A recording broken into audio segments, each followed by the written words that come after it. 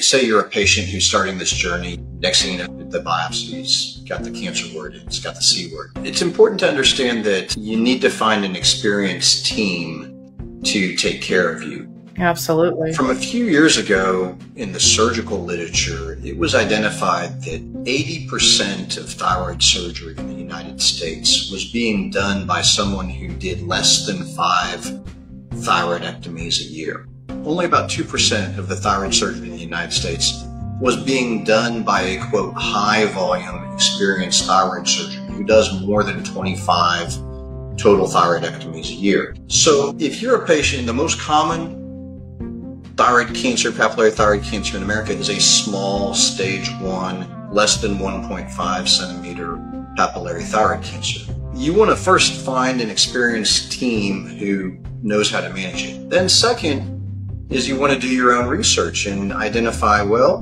what are my options? And that experienced clinical team is going to help you through those options. I want to touch base again on the point you made about high volume surgeons. That is absolutely staggering. So 98% of the thyroid surgery in the US is done by these low volume thyroid surgeons. That makes me think this must be why so many patients complain about having terrible outcomes after thyroid surgery because so many of them are having thyroid removals from surgeons with a low volume of experience. And I would just like to drive that point home again that you just made that is if you're going to have thyroid surgery, please find a high volume surgeon. That is critically important.